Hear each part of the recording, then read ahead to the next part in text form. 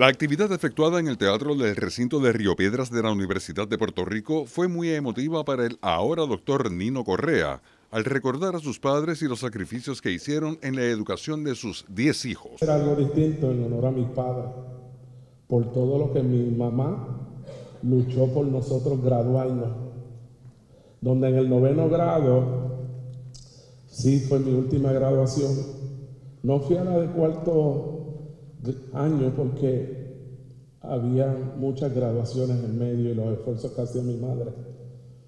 Lo sufría cuando no podía porque yo hubiera querido hacer lo que fuera por echar para adelante a sus hijos. Y eso fue lo que hizo. Pero esto lo hago en el nombre del Señor en honor a mis padres. Gracias. Gracias, por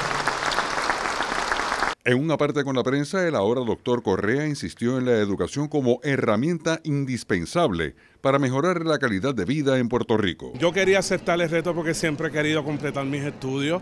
Ahora en marzo completo el bachillerato en su totalidad. Vamos para la maestría como quiera, la gloria para el Padre Celestial. La universidad me está otorgando otro eh, doctorado más honorífico eh, y son cosas que más que nada yo espero que nuestra juventud la reciba, que independientemente de los retos que te da la vida, es importante la educación.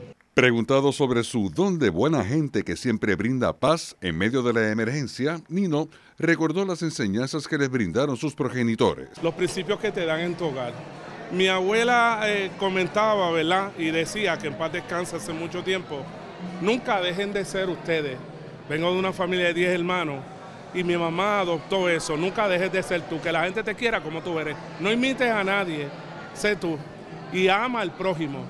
Yo pienso que ese principio es importantísimo, donde es de la única manera que podemos echar nuestra isla. Para Noticias 360 les informaron Miguel Rosa y Raúl Camilo Torres.